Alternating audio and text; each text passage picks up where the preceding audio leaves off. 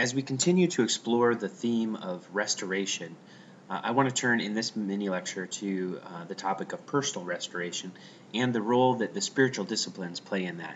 Uh, throughout this week, you'll be reading a few articles and completing a spiritual disciplines project. So, what I'd like to do uh, in this brief presentation is introduce you to two important writers uh, regarding the spiritual disciplines, at least from a um, evangelical Protestant perspective. And the first author that you should be aware of is Dallas Willard, and he has written a, a kind of classic text called The Spirit of the Disciplines. And in talking about the disciplines, he says, My central claim is that we can become like Christ by doing one thing by following him in the overall style of life he chose for himself. What activities did Jesus practice? Such things as solitude and silence, prayer, simple and sacrificial living, intense study and meditation upon God's Word and God's ways, and service to others.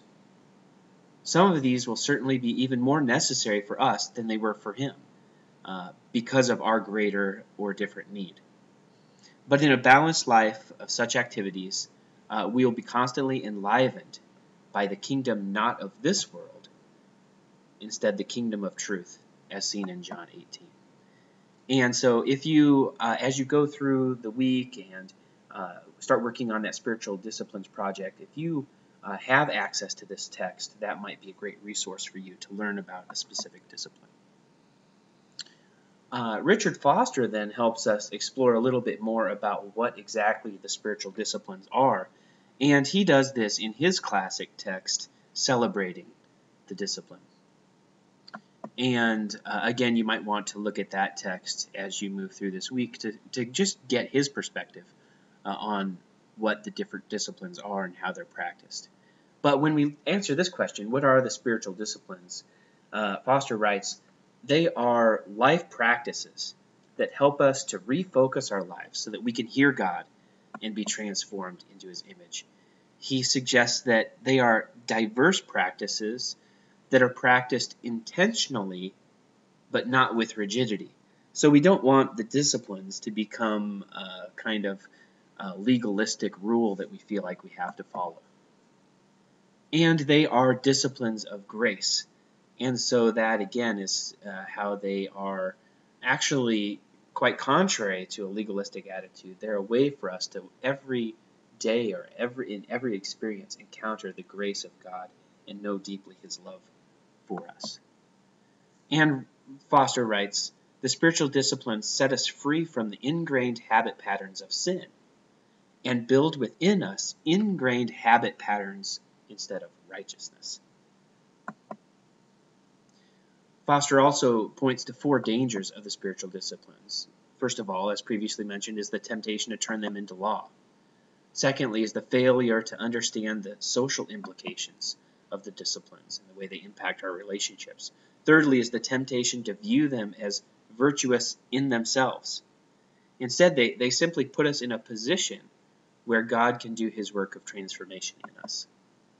And fourthly, looking into the, uh, we may tend to look toward the disciplines rather than towards a relationship of God. So, with God. So we want to be sure that we have our priorities and our focus correct as we approach the whole concept of uh, spiritual disciplines. Uh, in Richard Foster's kind of discussion of the disciplines, he breaks them up into three sets of four. And so, first of all, he talks about four inward disciplines. They include first meditation, or the practice of listening, hearing, and obeying the voice of God. Helps us to see life uh, from God's perspective. Second uh, is the discipline of fasting, or the practice of voluntarily denying ourselves of something that we normally have. Uh, thirdly is the idea of study, or the practice of thinking rightly about all things so that our lives are then conformed to truth. And fourthly is the idea of prayer, or the practice of perpetual communion with God. And he says that it stands at the heart of the inner life. Again, this is all from the celebration of discipline, Richard Foster's book. So the second set of four that he talks about are four outward disciplines. They include, first of all, solitude or the practice of being alone in the presence of God. So Foster writes, in stillness, our false, busy selves are unmasked and seen for the impostors they really are. Secondly, is the idea of submission. This is the practice of re releasing our plans, desires, and agendas so that we can lift those of others before our own. Thirdly, is service, or a lifestyle of dying to oneself and meeting the needs of others, whether they be big or small. And fourthly, is the discipline of simplicity, or the practice of removing those internal and external voices that compete for our religion, our, our allegiance uh, to Christ and His kingdom. It's the discipline of trusting Christ for all of our needs. And then he talks about four corporate disciplines. And the first is the idea of confession, or the practice of admitting our sins and sinfulness to God and to one another, and then receiving forgiveness. Uh, William Temple writes of worship that it is to quicken the, the conscience by the holiness of God, to feed the mind with the truth of God, to purge the imagination by the beauty of God, to open the heart to the love of God, and to devote the will to the purpose of God. So through worship, we give our whole beings to God to center on Him. Thirdly, is the idea of guidance, or the practice of individually and corporately just listening to God, discerning His voice, and obeying his command. I'll talk about that elsewhere uh, in another mini lecture. And the last one is this idea of celebration, or the presence of releasing our disappointments to God and then allowing Him to transform them into something purposeful. And it's the joy of obedience to Christ.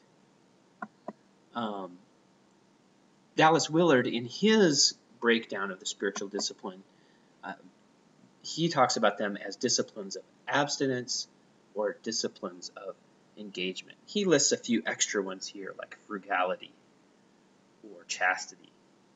And uh, if again, if you want to access his book to to learn more about um, the disciplines as he outlines them, you'll find different lists and uh, different numbers. But you know, typically uh, we can talk about anywhere from 10 to 12 basic discipline disciplines that uh, people have found helpful in the spiritual life. And these are two important resources that you should be aware of.